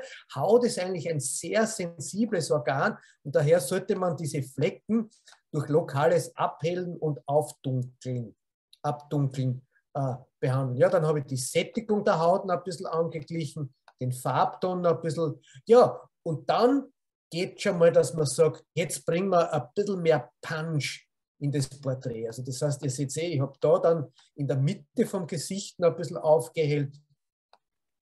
Dann haben wir den Hintergrund noch ein bisschen verschönert. Ah, Moment, das war jetzt ein Blödsinn. So, den Hintergrund. Und jetzt kommen wir schon zur Form. Also ich habe ja da wieder ein bisschen Volumen gemacht. Ich habe ihr unten im Kinn, habe sie eine Spur schmäler gestaltet. Und schon seht ihr das, wie das ganz toll wirkt. Ja, und dann da noch ein bisschen bei den Augen und jetzt final den Look. Also den Look, ihr seht eh, ein bisschen kühler und dann fertig war das äh, Porträt. Aber am meisten haben wir da bewirkt bei der Form. Also ihr seht eh, sie hat eine sehr hohe Stirn, breites Kinn und da nur ein ganz wenig korrigiert. Auch da die Schulter noch ein bisschen korrigiert und schon ist das Porträt einigermaßen toll retuschiert. Ja, und zum Finale möchte ich noch was zeigen. Es, es taucht ja immer die Frage auf, was ist denn alles möglich in Photoshop? Und meine Standardantwort ist immer, es ist alles möglich. Alles, was man sich vorstellen kann, ist möglich in Photoshop. Man muss nur dementsprechend das Know-how und Erfahrung haben und dann natürlich auch die Ausdauer, das Ganze umzusetzen. Und das ist jetzt ein Bild von einer jungen Dame, die habe ich fotografiert. Das ist jetzt schon ein paar Jahre her. Im, Im Studio ist dieses Porträt entstanden. Diese Dame arbeitet bei einem Fernsehsender und schneidet in der Nacht immer die ganzen Filme, die dann am nächsten Tag ausgestrahlt werden. Und nach seiner Nachtschicht ist sie dann zu mir ins Fotostudio gekommen, weil sie hat nur zu dem Zeitpunkt äh, Zeit gehabt und wir haben die, die Fotosession durchgeführt. Wir haben natürlich andere Bilder auch noch gemacht, Ganzkörper, unterschiedliche Outfits.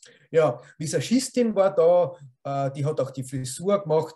Und jetzt zeige ich euch das erste Bild, wie es aus der Kamera gekommen ist. Also das ist das finale Bild und so ist sie recht müde ins Studio gekommen und das ist dann nach der Retusche entstanden und so sieht sie ja dann auch wirklich aus. Also ihr seht, was alles mit Photoshop möglich ist. Und jetzt schalte ich wieder von der Außenzentrale in Karlsruhe zurück ins Fotocafé nach Wien. Karl, bitte übernehmen.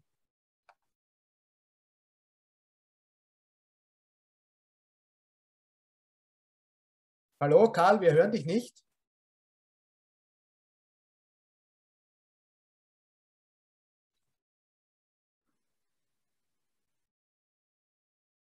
Hallo Karl, wir hören dich nicht.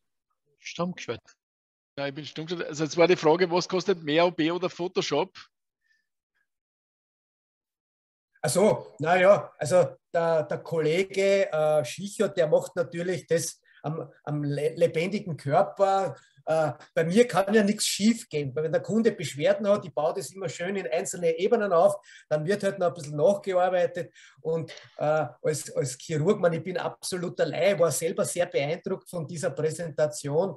Also das würde ich mir vorstellen, das kostet natürlich mehr am Markt, aber dafür ist auch die Leistung eine ganz andere.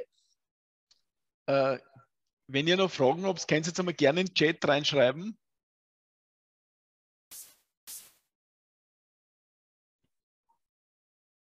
Jetzt wäre es für mich interessant, Karl, ja. was der Kollege Schicher zu meiner Photoshop-Arbeit sagt. Äh, ja.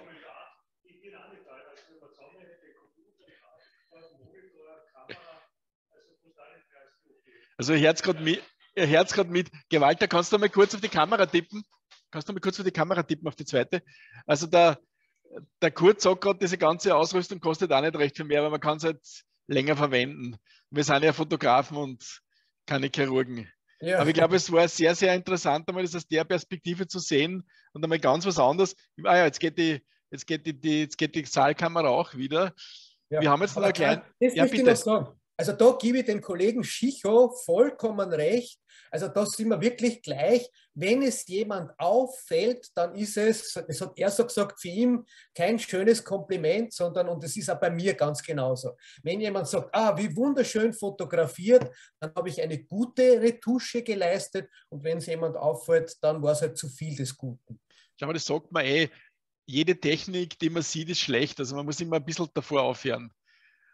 Äh, was mich sehr fasziniert hat, ist einfach Punkt der Augenbrauen. Oliver, hast du das eigentlich bei deiner Technik oft angewandt, dass du an den Augenbrauen auch was änderst? Ja, also bei Models, also das kann ich euch noch zeigen. Einen Moment, ich schalte nochmal ja, auf meinen ja. Bildschirm.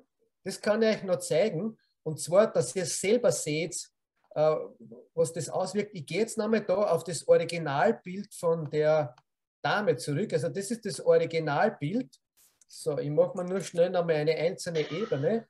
Und wir gehen jetzt nochmal in den verflüssigen Filter und machen da diese Augenbrauenkorrektur. Und ihr werdet sehen, wie das wirklich interessant ausschaut. Also das heißt, wir heben jetzt da die Augenbraue ein bisschen, das ein bisschen anheben und wir heben es da ein bisschen. Ja, und was mir noch auffällt, schaut mal, und das ist bei jedem Menschen, Ihr rechtes Auge ist eine Spur größer als Ihr linkes Auge.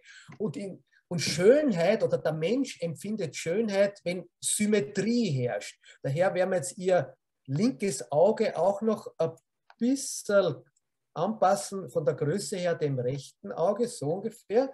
Ja, und jetzt vergleicht es das. Also das ist jetzt das, was wir gemacht haben. Ich mache es jetzt ein bisschen größer. So, schalten wir mal ein dass ihr es wirklich seht. So, Achtung, das ist jetzt nachher, das war vorher. Ähm, genau. Oliver, wie schaut es mit dem Jochbein aus? Magst du manchmal Jochbein oder Unterkiefer, dass es prominenter wird? Äh, ja, aber das kann ich auch noch machen bei der Dame. Und zwar macht man das jetzt in, in, in der Retusche nicht äh, mit den Verformern und sagt, na, verflüssigen Filter wendet man überall, sondern ich wende äh, Dodge and Burn an. Ich mache das nur kurz die Vorbereitung. Und zwar Super. alleine, wenn man Teile, die jetzt heller sind, jetzt mache ich das da am Jochbein, in, in dem Gesicht, wird, entsteht die Illusion, dass da die Erhebung größer ist. So, ich mache das jetzt da ein bisschen heller da. Und ich mache es jetzt, damit man es wirklich gut sieht und markant, mache ich es jetzt da noch rundherum ein bisschen dunkler. So, und das heißt, da mache ich es jetzt ein bisschen dunkler. Das machen ja die Damen auch teilweise mit dem Make-up. So, und jetzt gebe ich die zwei in eine Gruppe und nur, dass ihr es jetzt seht, Jochbein. Achtung, vorher, nachher. Wie das jetzt, und ich habe nur das Licht ein bisschen verändert. Keine Form. Seht ihr also, das Oliver, da habe ich jetzt noch kurz eine Frage an den Kurt. Ja. Kurt, das war immer interessant äh, aus medizinischer Sicht, weil wahrscheinlich manche von den Photoshop-Techniken sind ja falsch, was man so sieht, weil die Leute ja dann falsch retuschieren, weil sie keine Ahnung von Anatomie haben. Ist da oft was aufgefallen? Also ich glaube, die Überlegung des Laufens ist ganz wichtig. Also er schaut auf Postkorrekturen, weil das eine ist das Beherrschen von Werkzeugen. Hört ihr, hört ihr im Internet den Kurt? Weil sonst Kurt kommt ein bisschen ja, zu mir. Ja, musst du wiederholen, Karl, bitte. Der Kurt kommt zu mir, dann hört man besser kurz beantworten. Also ich finde äh, ganz interessant, das war mir gar nicht so bewusst, ne, was du machst, die, die Überlegungen sind identisch. Also du hast einen Werkzeugkasten, wo du alles Mögliche, was du jetzt gezeigt hast, machst. Aber die Voraussetzung ist, du hast es gar nicht so extra erwähnt, aber das ist eine Voraussetzung, dass du weißt, was du machen möchtest. Also wenn du sagst, du hebst die Augenbraue, du, du machst irgendeinen Schatten oder Licht oder so. Wir machen das oft beim Auge zum Beispiel wenn er Tränen drin ist oder dunkle Ringe sind, ist oft ein, äh, nur der Schatten, der entsteht. Und wenn man es dann auffüllt, und dann kann der Schatten nicht mehr äh, entstehen. Aber das muss man zuerst sehen. Also man sagen, okay, genau. Rinne, also es, es gehört genauso wie bei dir, Kurt. Es ist im Prinzip genau das Gleiche, was du machst. Du machst ja. den Regler und ich mache ein Eigenfett rein zum Beispiel. Ja, also es gehört irrsinnig viel Erfahrung dazu. Also zum, zum einen muss man die Werkzeuge bedienen können, dann gehört viel Erfahrung, wie weit äh, kann ich den Menschen verändern und was muss ich verändern? Also man muss einmal die Probleme wahrnehmen und das merke ich immer. Bei mir sind ja einige Fotografen im permanenten Coaching, die können alle eine Kamera bedienen, die können alle Licht setzen, aber es fehlt an der Erfahrung, die Problemzonen zu erkennen. Das ist auch immer da das größte Problem. Also was die Oliver, die Geburtstagskinder dürfen sich immer was wünschen. Ich würde ja. mir jetzt wünschen, dass wir in Zukunft mehr Männer photoshoppen. Die Frauen sind überproportional oft vertreten. Also ich habe heute eher einen Mann dabei. Ja, an und nein Frauen. Nein, das war jetzt nicht an dich persönlich gerichtet, ja. sondern generell würde ich sagen, das wäre mir nett, wenn wir da ein bisschen mehr Männer auch reinbringen, die sind genauso, was die eitel. Entstellt, entstellt und gern retuschiert. Genau, vielleicht diese Geschichte mit, mit Prominent, mit Kiefer und so weiter, das wäre mal vielleicht was für die nächsten Sendungen. Gut, äh, wir haben jetzt eine kleine Überraschung vorbereitet. Ich werde jetzt mal kurz auf die Kamera im Raum schalten und würde mal den Walter bitten, öffnest du mal unsere Box. Wir haben nämlich jetzt ähm, im Rahmen des Online-Fotokurses neue Hoodies produzieren lassen. Ihr habt schon gesehen, wir haben jetzt diese Fashion Weinroten. Der, der Oliver hat schon im, im Postkasten in Salzburg, die sind leider nicht rechtzeitig angekommen. Und sag mal einfach den ersten Namen, Walter, und dann, dann werdet ihr mal äh, wer steht denn da drauf? Ja, dann also, ich sagen, gleich mal zum Konrad. Ein kleines Dankeschön auch für, die, für deine Mitarbeit. Gell?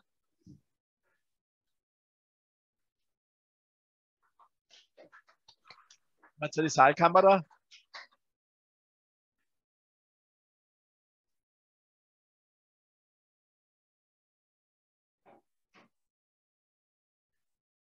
Genau, das Martin und Monika. Ich hoffe, sie passen. So. Du Karl, du musst dir noch deinen Assistenten heute vorstellen. Ja, das ist der Walter. Ja, der Walter kriegt noch ein Backel.